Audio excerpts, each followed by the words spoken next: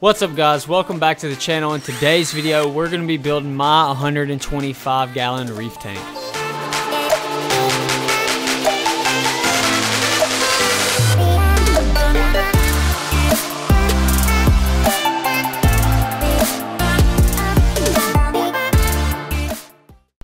Alrighty guys, so here's the tank right here, the 125 gallon.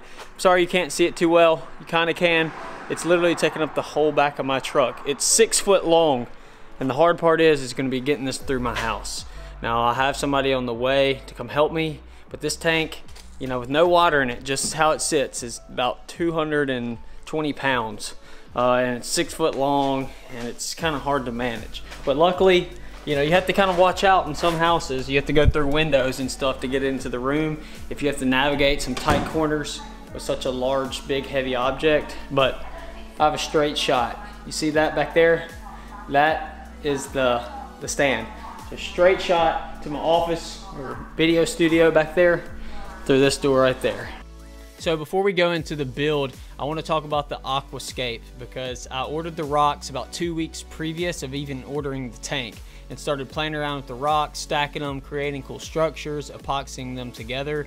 I found a really cool glitch on Amazon where this this certain brand had these rocks for sale for a 40 pound box was only $80 which if you've done any shopping on rocks that's really good at $2 a pound certainly for this purple stuff. So it is fake it's not real it's not live rock it's all dry but that's how I wanted to set this one up and I played around with the rocks, you know, outside of, well, even before I got the tank uh, and got really unique scapes. And I'm gonna show you how I set those up and then we'll get back to the plumbing and the rest of the tank.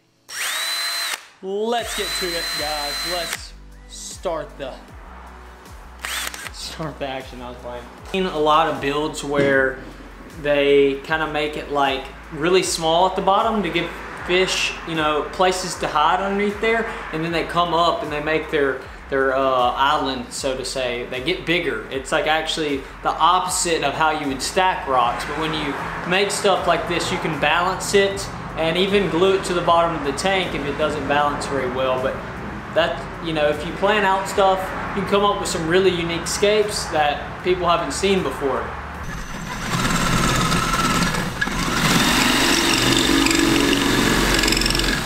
So I decided to use some old arrows that I had laying around to use as the support dowels. I've seen people use, you know, like plexiglass dowels or whatever, like small little plastic dowels. I had these laying around. They're super strong. They're small diameter. And, you know, I used a ceramic or a, a concrete drill bit and made the holes. It was that easy. So I ended up using some greenhouse paneling. You can use acrylic sheets or anything uh, that you would like to glue the base of these columns. So I'm gonna call these my base rocks or I made them like column-like to where they're skinny at the bottom and it creates these cool caves and cliff faces and stuff like that. But it was just super easy and super strong. I don't have to worry about these things, you know, crashing into my glass or falling over because they're very strong. You'll see from a better angle uh, that they're glued down to these bases and then covered up with sand on top of that. So I made these pieces super modular to where when I put them in the tank, I could move them around and still uh, create a scape that I liked in the tank. So I ended up not going with that big arch design, but you'll see what I went with and I'm super happy with it. All right, well there it is. It looks a little funny because it's cold outside and the glass fogged up.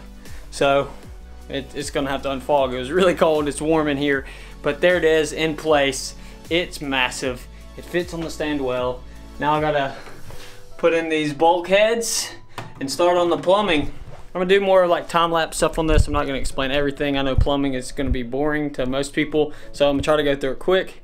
Uh, I just don't feel the need to do a whole big segment on the plumbing, even though it is kind of, a lot of people really like, you know, putting a lot of time and effort into the plumbing and like plumbing design, so to say, which is kind of cool. There's uh, a thousand ways you can skin a cat, so to say, and plumbing is definitely one of those things where you can do it a million different ways.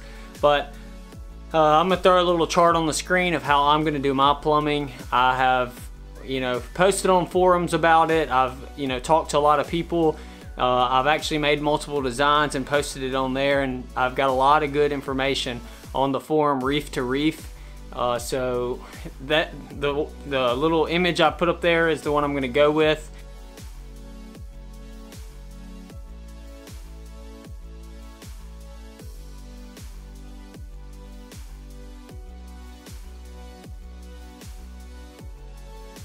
All right, so basically what I'm trying to do with the overflow is a Herbie overflow. One is going to be full siphon. One is going to be like a emergency pipe.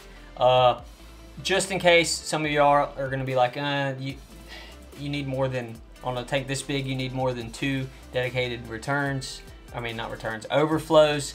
This pump chamber right here is super small. I don't know if, how well you can see it, but theoretically, in this sump, the way I built it, if my system were to get clogged up top or anywhere along in the plumbing, somehow if both one inch pipes uh, were to get clogged, uh, this would run dry before it flooded the tank. Like literally there's only about, I don't know, four, four gallons maybe in that return chamber.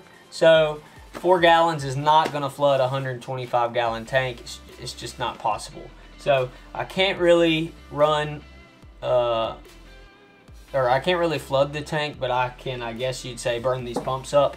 But this is also kind of really hard. Certainly you don't want to do this if you're not going to run an auto top off system because this is where you're going to see your evaporation. This is where everything is going to happen and this is very small. Uh, so basically all of this up there is evaporating and right here is where the water level would change. Now you definitely want to do like a RO water to a solenoid type system. More on that later. I know that probably sounds crazy, but I'm going to run my RO system to where it's on a solenoid with a sensor to where it'll automatically put water in here and keep it level. Uh, uh, a little bitty fuge light on here, that's what you see the purple is.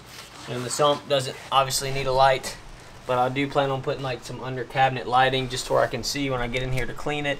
And y'all okay? uh, when I get in there to clean it, you want to be able to see the dirt and all that stuff. So the tank is plumbed. Now it's time to clean up all this mess, all the glue. Let me put this cap back on and uh, we're, we're gonna get to the scape, which is I'm super excited about the scape. Now you're probably wondering what the heck is going on here. I uh, put a, a layer of saran wrap on the inside of this thing to where I can still see through it when I'm designing, but I would literally cry if I scratched this glass, uh, you know, when I was setting up the scape. So just uh, the best thing I could come up with to, you know, give me some protection to still be able to see what I'm working on uh, is I just put some saran wrap and use some scotch tape to hold it up just to where I have a nice layer of protection.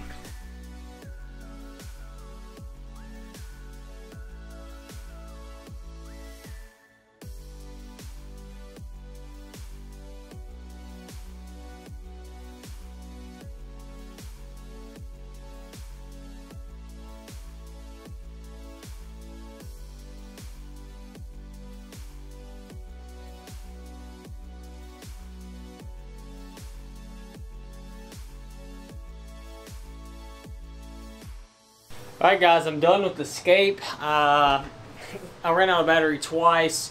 I basically videoed for like four hours because that's how long uh, I was moving rocks around. I mean, my hands are like worn out, like dusty from all those rocks. But I like the Scape. I'm going to show you all close. It has a lot of dimension. Uh, I might bat, buy some, some rocks, some like, you know, from the local fish store that I like. I need some like arches and stuff like that. So, you know, that always adds some good dynamic. But I'll show you all what I got. So, one of the main views I want it to look good is from here. And I think it looks pretty good.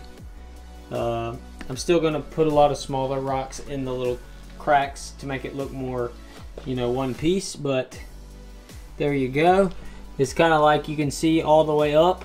So there's nothing really blocking the view up in the in the foreground, everything is scaled correctly. Uh, I am going to put some smaller rocks, some individual rocks down here in these open spaces.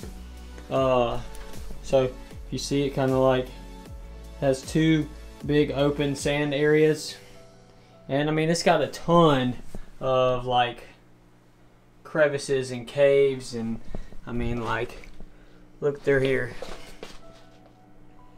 It's, I definitely, a lot of these rocks are glued, so you don't have to worry about them falling. And they'll look good when sand butts up to them. It's kind of hard to imagine it right now. There's that cave right there. Something's going to enjoy that.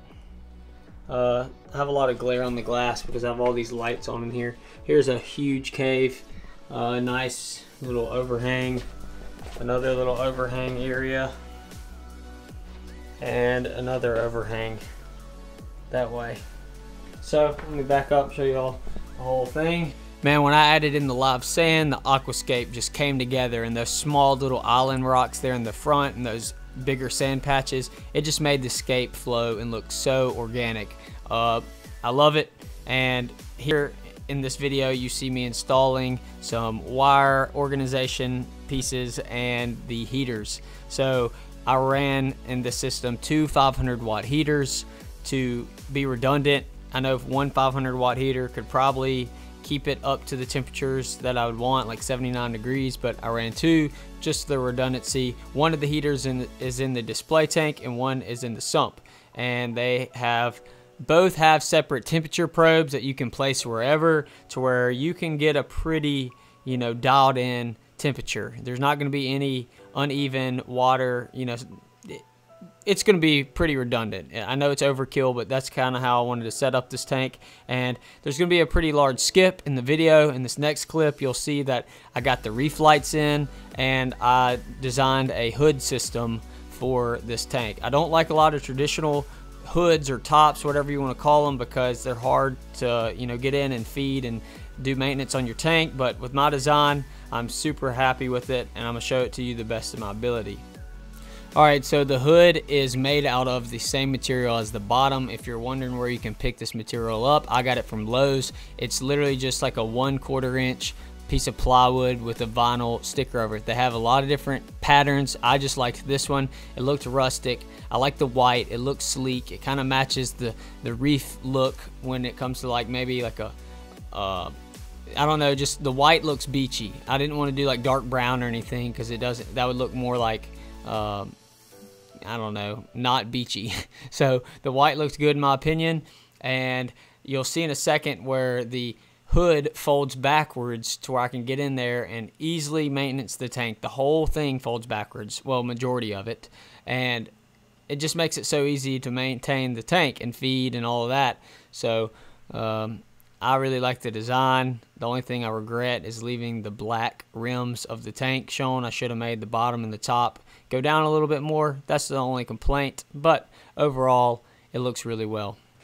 So the reasons I went with a aquarium hood is because I bought cheap lights. Let's be honest, these are, you know, Chinese black box style lights you get on Amazon. They're only $100 a piece, which that seems like a lot to most people, but trust me, if you start looking at some of the name brands, I would end up having to buy about a $1,000 worth of lights for this this tank. And you know, that's not really in my budget. And I thought these would do fine because I'm going to do, you know, easier style corals for now. And maybe later I'll move up.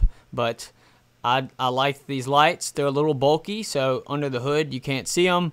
And all the wires are hidden, everything. So I'm super impressed. You can tone these lights. There's two different channels, a blue and a white. And you know, I've I run the blue pretty much wide open and the white not so much and uh, yeah, that's that's the system so far. You can see I used uh, just door hinges and to help me assist the, the the heavy hood with the three lights on it, I used some you know gas struts that you would see like on a truck's toolbox or just I don't know. You can find these at various hardware stores. The back is open with a, a mesh bottom if you look closely, to where it still lets you know air in and out, but it doesn't. The mesh keeps the fish from jumping out, and it just kind of sits on top of there. And uh, I have a few places to where it can't, you know, fall off. Even though it's very heavy, it it won't fall off. But that's pretty much it. I like. I came up with the design because I don't like a lot of hoods where when you, you know, fold the lid back like so, the lights are pointed up at the ceiling. But you can see here how I added a small little bracket with some cabinet hinges to you know, let the light fall down to where I can work. If, you know, I'm moving around corals or cleaning, you need some light. And there you see the knobs where you can uh, tune the color.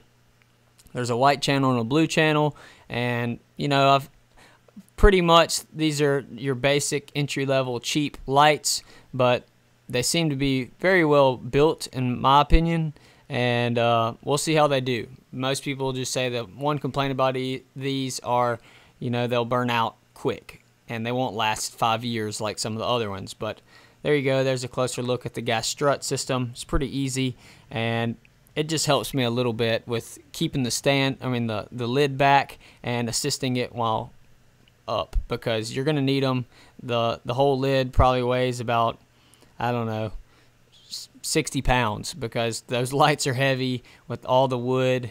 It's just a very well built system, but those things help me a lot. So I'm showing off here where you can daisy chain the wires and only have one wire going down to your, uh, you know, your electrical panel. So one wire runs all three of those lights, which I really like. There's the brand name of the the black box if you like. There's a lot of different ones. I think these are pretty well built. They have a power switch on the side where you can turn them off. And overall, I'm impressed with with the quality of them. For you know, they're about a hundred bucks. I'm running these on a Wi-Fi based timer to where I can control the lights from my phone. It is just an on and off. I don't think there's any you know dimmable dimming capabilities with these lights. They're either on or they're off. Uh, there's no app connected through the light. I've used a Wi-Fi based plug-in to basically, you know, I can set up a schedule on my phone. But other than that, the lights are on or off. There's no ramping or anything like that. But for, you know, a hundred bucks for each light, you can't really beat it. Uh, yeah, you can pay a few hundred extra dollars for each light and get some crazy capabilities, but you know, this will do. We'll see how the corals like it, and I think it's a pretty good setup. You can see here at the top, I've used these little like drywall anchors. I think that's what these things are. I just kind of thought of this as a design where you can like get it the right size and slide it over, tighten it up a little bit, and you know the light's in place. So that's pretty simple, and I know there's probably some better designs that you could come up with on this little the the hinge system for the lights, but this one works.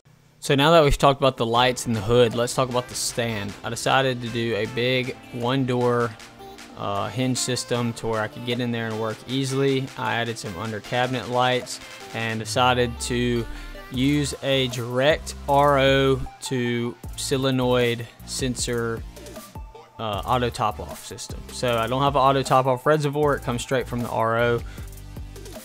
Okay guys, so thank you so much for watching this video. The last thing I'm going to cover is the Refugium. It's a 15 gallon tank that I had laying around. It used to be freshwater, but I converted it to be a Refugium, grow some macroalgae and some microfauna. And that's pretty much it guys. So here is the 125 gallon build.